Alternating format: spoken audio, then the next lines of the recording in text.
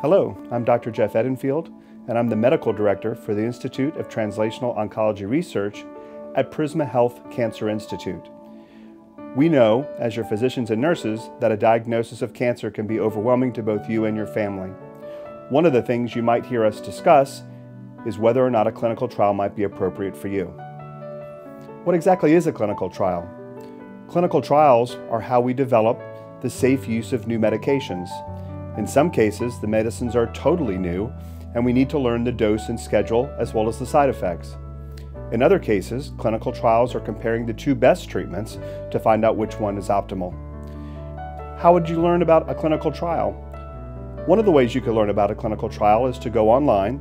There are a number of resources there, such as clinicaltrials.gov or the NCI's website, which is the National Cancer Institute. But a great way to do this is to talk to your physician about what clinical trials are available. Not every clinical trial is appropriate for the situation. Many patients are afraid that placebos might be included in the clinical trial. Most treatment trials do not include a placebo, and obviously your doctors and nurses aren't as interested in you being on a placebo-controlled trial unless there literally is no other option. I would encourage you to talk to your doctor to consider whether clinical trials might be appropriate for you.